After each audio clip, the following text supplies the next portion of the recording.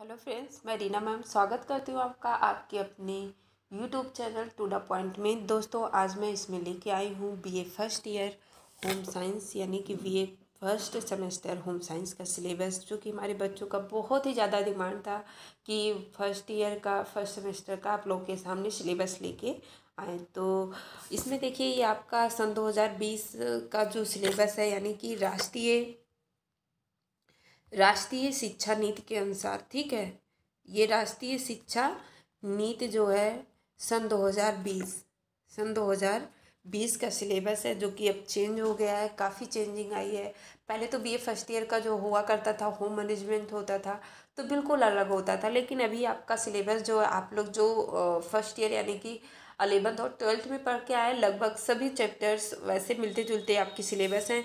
आपका ये तीन खंडों में विभाजित है। यानी कि आपका जो है ये तीन खंडों में विभाजित है आपका सिलेबस ठीक? तीन खंडों में है।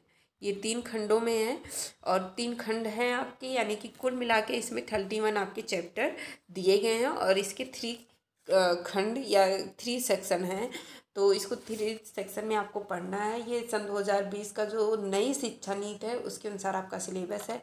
जैसा कि आप लोग को पता है, मेरे फ़र्स्ट ईयर बच्चों को, कि अब जो है आपका सेमेस्टर वाइज ये पेपर होना है तो अभी आप लोगों के लिए बहुत ही अच्छा ये भी न्यूज़ है कि आप लोग का एग्जामिनेशन फॉर्म भरा जा रहा है तो आप लोग एग्जामिनेशन फॉर्म भर दीजिए और जल्द से जल्द आपका पेपर भी हो जाएगा। और आप लोगों के लिए एक अच्छी न्यूज़ ये है कि क्या कहते हैं, मैं आपको जितने भी इसमें आपके जो भी सिलेबस में जो भी टॉपिक है, मैं हर एक टॉपिक को, कोई ना कोई हर टॉपिक को मैं हर दिन इसको एक टॉपिक आपके सामने लेके आऊँगी। तो इसके लिए आपको क्या करना है, हमारे चैनल को सब्सक्राइब करना है और बेल आइकन को क्लिक कर देना है, ताकि जब भी मैं वीडियो कोई अपलोड करूँ तो आप लोग को उसको नोटिफिकेशन मिल जाए, ठीक है? और हमारा टेलीग्राम चैनल पे अगर आपको यूट्यूब पे नहीं मिल रहा है तो टेलीग्राम हमारा एक चैनल है। आप उस पर रीना मैम होम साइंस के नाम से हमारा चैनल बना हुआ है। आप सर्च करेंगे, बिल्कुल टू द पॉइंट का एक, जैसे आपका यूट्यूब पे दिखता है सेम वैसे वहाँ पर बना हुआ है। आप उसको ज्वाइन कर लीजिए, आपको वहाँ पे नोटिफिकेशन मिल जाएगा। प्लस मैं जो पढ़ाऊँगी, उसका पीडीएफ भी वहाँ पे आपको मिल जाएगा। तो टेलीग्राम ज्वाइन करने का एक आपको बहुत ही ज़्यादा बेनिफिट ये मिलेगा कि आपको नोट्स भी मिलता रहेगा, ठीक है?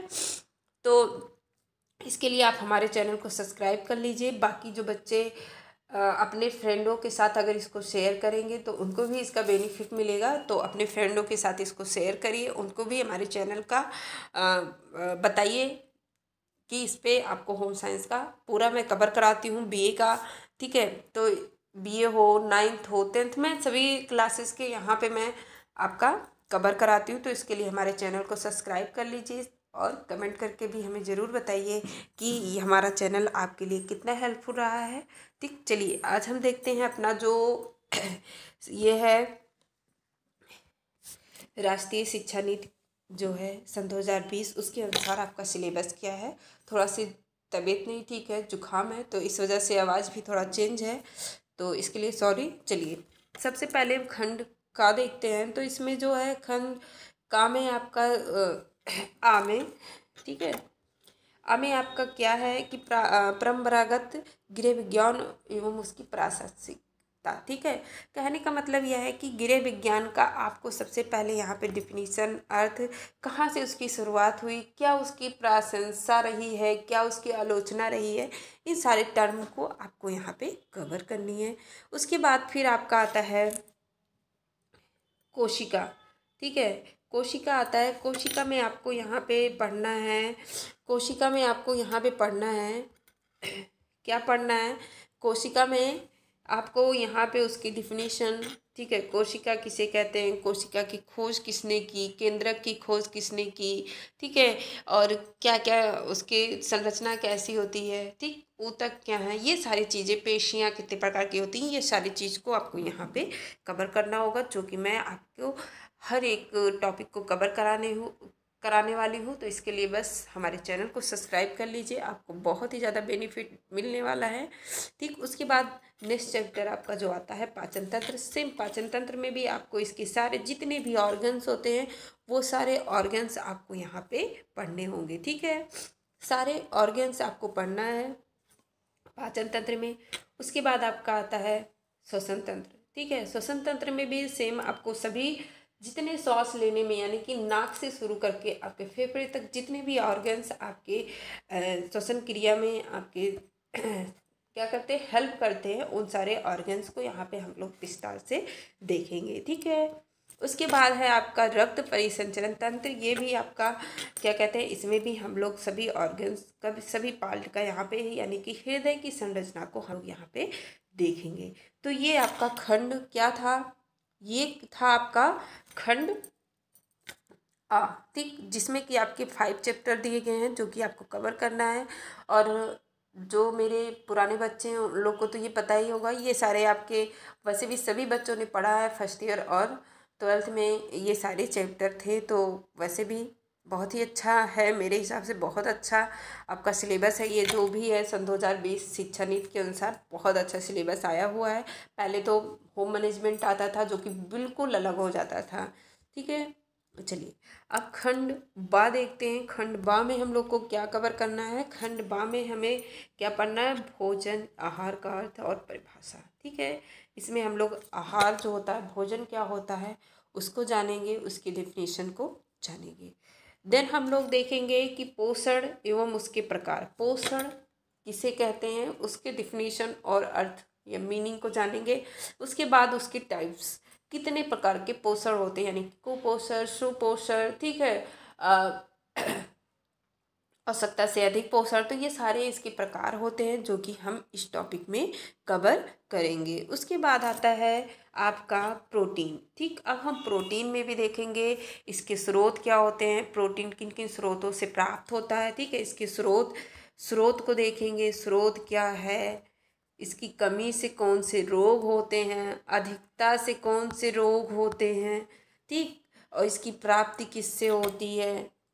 कि तो ये सारी चीज़ हम लोग इसमें कवर करेंगे। जैसे कि आपको पता है प्रोटीन से होने वाले लोग रोग कौन कौन से आस्टोमलेशिया हो गया, मरामर्श हो गया तो ये सारे हम लोग इसमें कवर करेंगे। ठीक, आगे इसमें देखते हैं। आगे जो आपका है, ये इसमें है आपका कार्बोहाइड्रेट बिल्कुल इसमें भी हम लोग वही पढ़ेंगे कि प्रोटीन कार्बोहाइड्रेट का अर्थ क्या है, परिभाषा। ठीक है? किसे कहते हैं? किन स्रोत से प्राप्त होता है? अधिकता से क्या होती कमी से क्या होती तो ये सारी चीज़ें हम लोग किसमें कवर करने वाले हैं? कार्बोहाइड्रेट में। उसके बाद फिर आपका आता है वर्षा। ठीक, अब वर्षा में बिल्कुल हम लोग को वही चीज़ें पढ़ना है कार्बोहाइड्रेट जैसे हम लोग को पढ़ना है कि क्या क्या चीज़ें इसमें आती हैं, क्या नहीं आती, ये सारी चीज़ें हम लोग इसमें कवर करेंगे। बिल्कुल विटामिन अब विटामिन्स में भी विटामिन्स कितने प्रकार के होते हैं? विटामिन्स आप लोग को पता है, दो प्रकार के होते हैं, जल में घुलनशील, वसा में घुलनशील। कौन कौन से वसा में घुलनशील है कौन कौन से जल में घुलनशील है? किन किन विटामिन से क्या क्या रोग होते हैं? तो ये सारी चीज़ हम लोग किसमें कवर करने वाले हैं। हम लोग कवर करने वाले हैं विटामिन में। उसके बाद देन आपकी जो टॉपिक है वो है खनिज लौड़ खनिज लौड़ कितने प्रकार के होते हैं? कितनी खनिज लौड़ों की आवश्यकता हमारे शरीर में होती है मुख्यतया, ठीक है? उसकी क्या प्रभाव पड़ते हैं हमारे शरीर में? किस खनिज के क्या कार्य है हमारे शरीर में? तो ये सारी चीज़ हम लोग किसमें कवर करने वाले हैं? हम लोग कवर करेंगे खनिज तो उसके बाद आपका आता है, क्या कहते हैं? जल एवं आहारीय रेशा। अब देखिए सबसे पहली चीज़ हम लोगों ने अभी क्या देखा कि आहार पोषण किसे कहते हैं? अब सबसे पहले कि पोषक तत्व कौन कौन से होते हैं? ठीक, पोषक तत्व आपके छः होते हैं, आपने देख लिया है। बिल्कुल, टॉपिक ऐसे ही छः होते हैं आपके और वो कौन कौन से हैं? आपके प्रोटीन हो गया, कार्बोहाइड्रेट, वसा विटामिन खनिज लौर और जल। ये सारे आपके क्या हैं? आहार के पोषक तत्व हैं, जो कि आपको खंड सा में कवर करना है, ठीक है? उसके बाद है, देखिए, बहुत ही इंटरेस्टिंग टॉपिक आपका जो है, भोजन पकाने की विधियाँ। किन किन विधियों से हम भोजन को पकाते हैं, ये सारी चीज़ें यहाँ पे हम लोग को पढ़ना है, ठीक है? आगे हम लोग देखते हैं। इसमें तो काफ़ी पढ़ना है आप लोगों को। क्या बात है? काफ़ी है।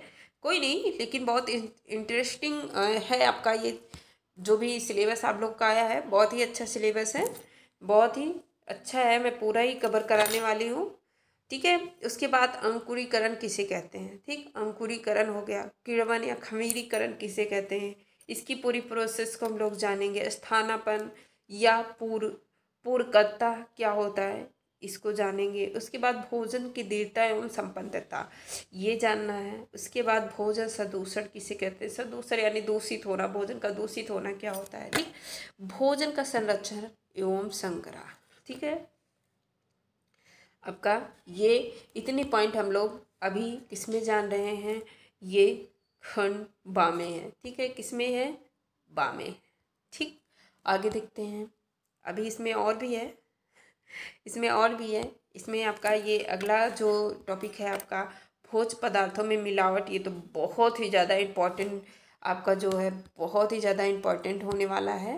क्योंकि ये तो बहुत ज़्यादा क्वेश्चन कंपटीशन लेवल का हो या कोई भी पेपर हो तो उसमें ये दो चैप्टर आपके ज़रूर पूछे जाते हैं। खनिज ये खाद्य अधिनियम मानक ये भी। मानक का मतलब क्या कि आ, मानक किसको? जैसे S I S I S I का मार्क किसमें दिया जाता है तो आप लोग को पता है, बर्तन में दिया जाता है। एक मार्क किसके लिए दिया जाता है? तो ये सारी चीज़ें इसमें आपको कवर करना है। ये भी बहुत ही इंटरेस्टिंग चैप्टर आपके हैं। बहुत ही अच्छा है। देखिए और खंड सा आ गया। ये खंड सा में आपका थर्टी वन कुल मिला के मैंने बताया था चैप्टर है। तो खंड खा में इसमें आपको क्या पढ़ना है? जैसा कि आप लोगों ने पेपर का नाम ही पढ़ा। क्या पढ़ा था? कि मानव विकास। ठीक? क्या था? मूल पोषक के मूल तत्व पढ़ना है। आपका पेपर का नाम क्या था? पोषक के मूल तत्व एवं विकास, मानव विकास। तो यहाँ पे खंड सा में आपको विकास पढ़ना है। ठीक है, विकास की विकास का एक परिचय, मानव विकास का आपको परिचय देना है। उसके बाद अभिवृद्धि एवं विकास। ठीक, दोनों क्या होते हैं? दोनों में अंतर क्या होता है? विकास में क्या अंतर है? वृद्धि में क्या अंतर है? उसके सिद्धांत, यानी अभिवृद्धि क्या हुआ? वृद्धि का मतलब क्या हुआ? जो हमें दिखाई देता है, यानी कि हम बढ़ रहे हैं, मोटे हो रहे हैं, पतले हो रहे हैं तो हमारा वृद्धि होता है, विकास क्या होता है? यानी कि हमारे शारीरिक, यानी कि आंतरिक जो परिवर्तन होता है, हमारी मानसिक योग्यता जो होती है, वो विकास होता है। तो इस तरह से इसको जानना होगा। अब विकास की अवस्थाएँ कौन कौन सी होती हैं, ये पढ़ना है। उसके बाद आपका है, विकास को प्रभावित करने वाले तत्व, वंशानुक्रम एवं वातावरण, ये आपको पढ़ना है। उसके बाद आपका चैप्टर जो है ट्वेंटी सेवन ये आपका है गर्भाधान एवं गर्भावस्था, ठीक है? ये इतने हम लोग किसमें कवर करने वाले हैं तो सा में कवर करने वाले हैं, ठीक है? इसी में गर्भाधान के बाद फिर देखिए, यहाँ पे आपका आता है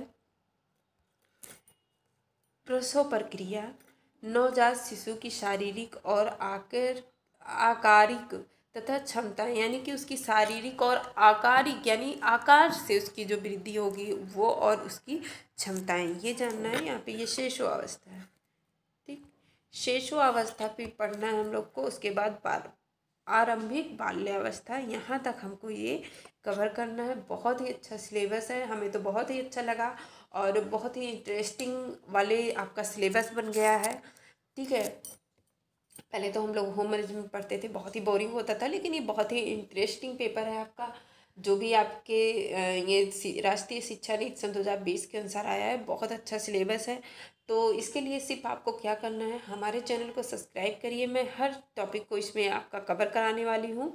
तो इसके लिए मेरे चैनल को सब्सक्राइब कर लीजिए कमेंट करके ज़रूर बताइए कैसा रहा, और लाइक करिए।